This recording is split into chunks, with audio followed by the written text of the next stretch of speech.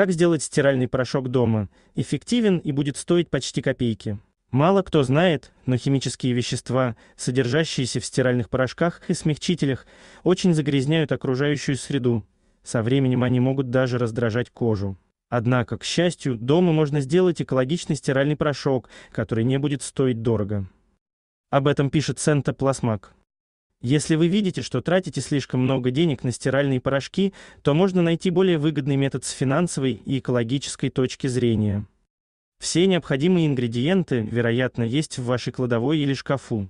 В противном случае они доступны по низким ценам в любом супермаркете или в интернете. Чтобы приготовить домашний стиральный порошок, нужны следующие ингредиенты. Эфирные масла лаванда, лимона или цитрусовых. Вода, 2 стакана пищевой соды, 2 стакана буры, натриевая соль борной кислоты.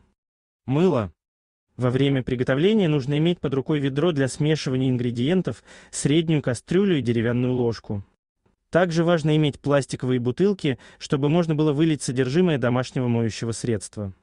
В частности, в 2 стакана воды нужно добавить мыльную стружку.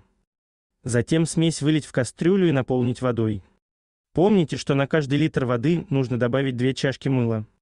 Дайте смеси покипеть несколько минут, постоянно помешивая деревянной ложкой. Затем насыпьте пищевую соду и буру в ведро, в которую вы выльете полученную смесь. Вы получите целое ведро стирального порошка. Нужно размешивать до полного растворения раствора. Затем добавьте 8 литров воды и снова перемешайте. Затем добавьте 20 мл эфирных масел, чтобы ваш натуральный стиральный порошок имел приятный и нежный аромат. В завершение накройте ведро тканью и после того, как он хорошо остынет, перелейте раствор в пластиковые бутылки или другую тару.